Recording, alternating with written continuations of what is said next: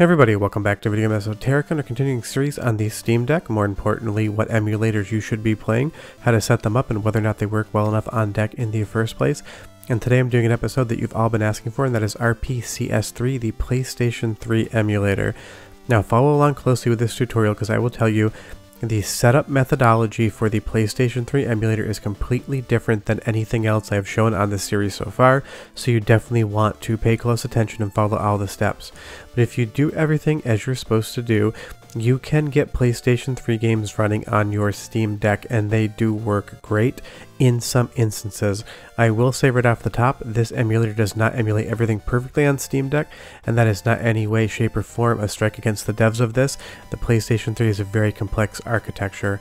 Before you get too far involved though, like, subscribe, all that jazz, you know what to do. The first thing you need to do is if you go into your desktop mode under all applications and scroll down alphabetically, you're going to find the emulator in there. Now unlike pretty much every other emulator we have set up so far, you don't put any BIOS in any BIOS folders whatsoever. RPCS3 stands alone as its own application and we need to set the emulator up in desktop mode before we can execute any games in the handheld OS. If you hit file and come down here, you're going to see install firmware and we are going to get that system software update from Sony directly off of their website. They host the files and because you own a PlayStation 3 console, this is perfectly fine and permissible to do. If you scroll down, you're going to see two options down below, how to update your PlayStation 3 console system software.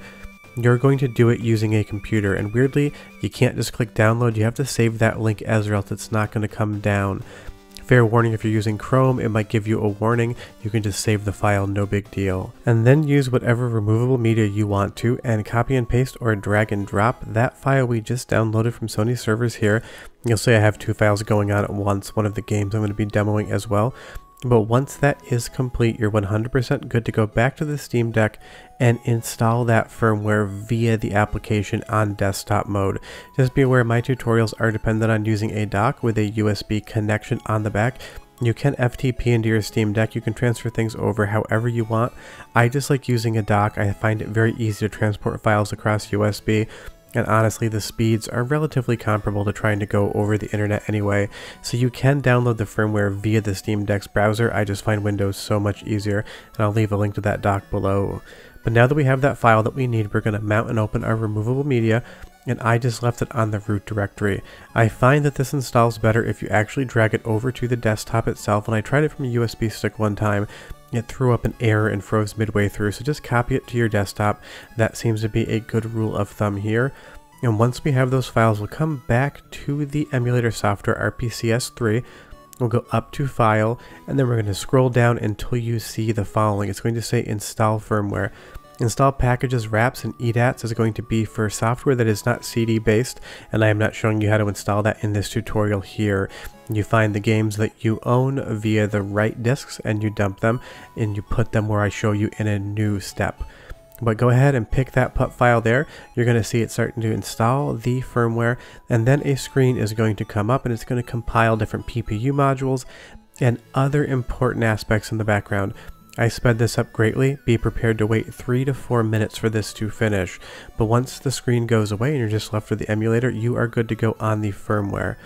Now, big rule of thumb, if you're going to start moving big files from your PC to your Steam Deck, make sure you check them first or else you're going to end up wasting a lot of time if they do not work.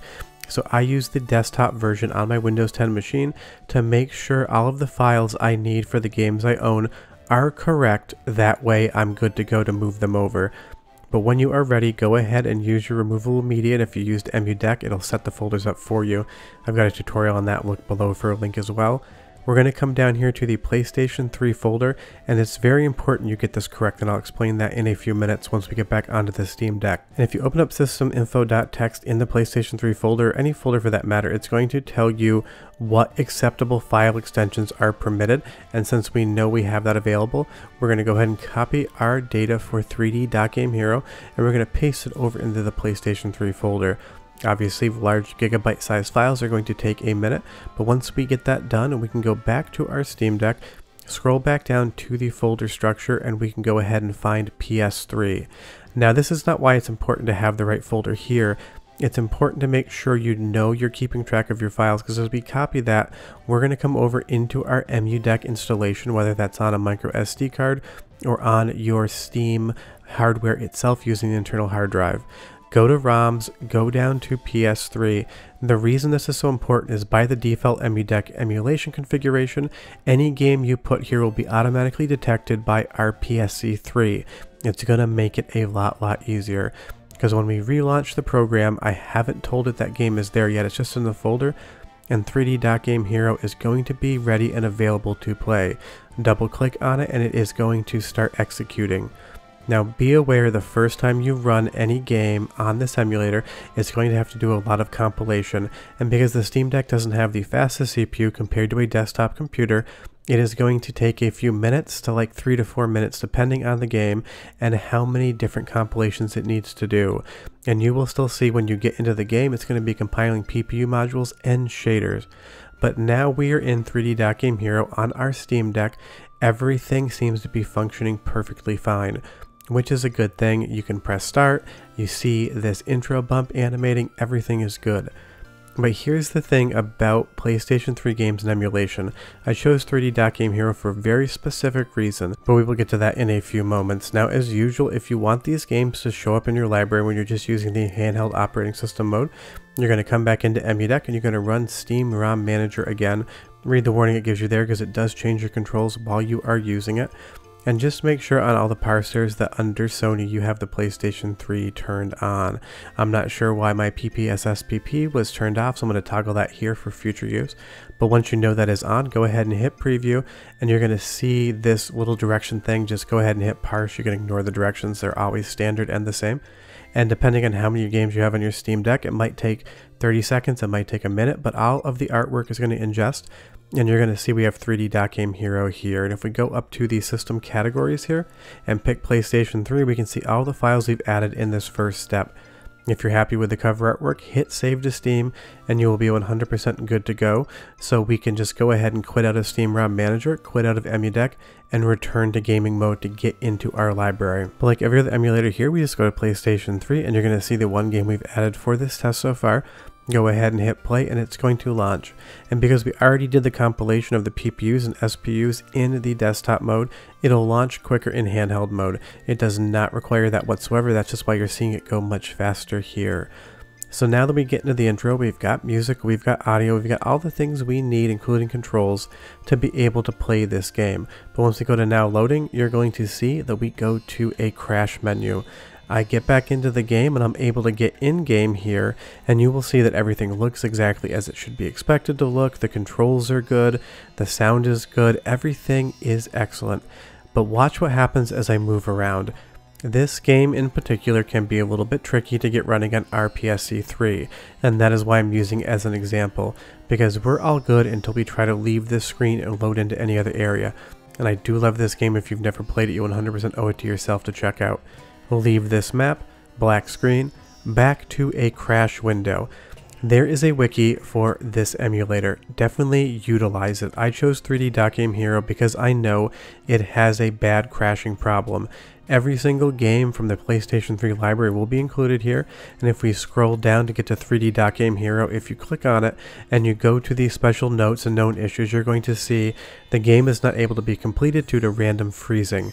So make sure you pay attention to the compatibility list before you go to all the work to transferring the files. You may as well find out that it does work, and some games will have specific configurations as well. On the GPU configuration, you can disable MLAA for resolution scaling on advanced advanced configuration, you can change the FIFO accuracy to atomic and that helps with stability. Now just be aware that all of the options are going to be on the desktop mode application itself. All the applications for CPU, GPU, audio, I.O., system, network, advanced emulator, GUI, and debug are all going to be in here. So if you do need to change anything around to make it work for a specific game, this is where you're going to want to do it because there really isn't a quick menu within the emulator when you're on handheld mode. Just because of how this emulator works, it's not like some of the other ones on RetroArch where you can just go to a menu. But make sure you pay attention to that compatibility list, check games before you try to play them, and you should be good to go.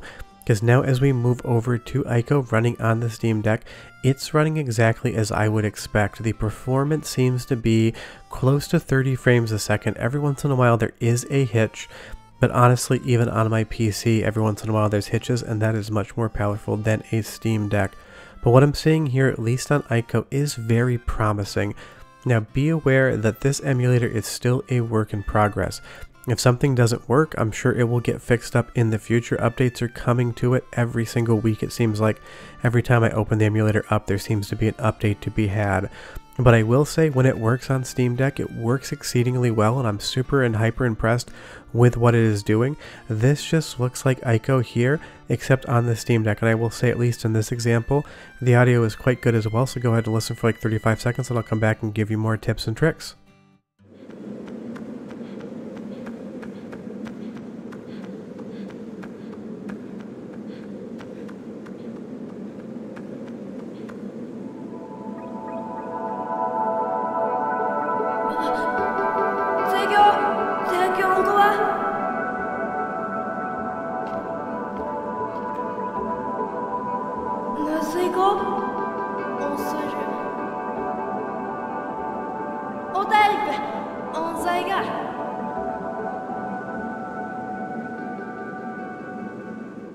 Looks great, sounds great, and plays great. Just remember, if we take a look at something like PCSX2 here, there's going to be an entire hot menu of keys currently available via EmuDeck, but if we go over to the PlayStation 3 emulator, you're going to see there really isn't anything whatsoever.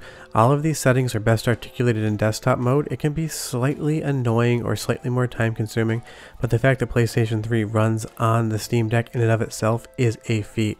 And now moving over to Mortal Kombat Complete here, it's another game that just seems to be working for me, but don't worry, I will explain some games that don't work whatsoever as well. Every once in a while, there will be a hitch. But here's the thing, you see compiling shaders at the bottom left hand corner. Be aware that the first time you play any game via this emulator, it is going to be compiling those shaders. And sometimes even if you've been playing the game for an hour or two, that menu will still pop up if it gets to a shader or technique that it has not yet seen is going to have to compile. And sometimes when it starts to compile, there will be some hitching. Like right here, the shaders had to compile because it hasn't seen that effect yet on the Steam Deck for me personally, so you are going to see those things pop up. So just be aware that you might see some hitching, you might see some weirdness the first couple times you play a game, but as you get into it, you should see that less and less and less. And if you do want to change around your control bindings as well, you're going to come back over to the application in desktop mode and it's going to give you all the different options as to what you want to do. You'll see that there is that NDEV by default and that's treating the Steam Deck like an Xbox 360 controller. But if I go ahead and hook up a Switch controller, Switch Pro via USB, you will see whatever you hook up drop down in that menu and you can configure that to your heart's content. And if you mangle all your configurations and you get it totally screwed up, just come back into EmuDeck and hit reset configuration. That will rebind all the keys based upon your first installation, which in my instance works perfect. Now taking a look at DMC Devil May Cry here, it is working perfectly. It is a locked 60 frames a second. It is fluid, fast, and responsive and looks spectacular and that is because I am playing it on my PC with an i9-12900K overclocked and a 3090 GPU inside my editing rig. The point that I'm showing you this for is that if you try it on Steam Deck, it's pretty much a slideshow. Steam Deck isn't going to run every single PlayStation 3 game. Something like The Last of Us would freeze for me in like the first 20 seconds. So your mileage is going to 100% vary. Read some reports, see what other people are playing, ask around, and you will find some games that are 100% workable on the Steam Deck for PlayStation 3 emulation. Just be very aware that the entire library is not going to be possible at this current period of time. Maybe with software updates it'll get better. But PlayStation 3 on Steam Deck is a possibility. Some games work perfectly, some games kind of hitch a little bit, and some games absolutely just freeze. If you have any questions about the tutorial, leave them down below. Otherwise, like and subscribe. Got a Patreon link down below. We're done with this video and we'll see you next time. Bye bye.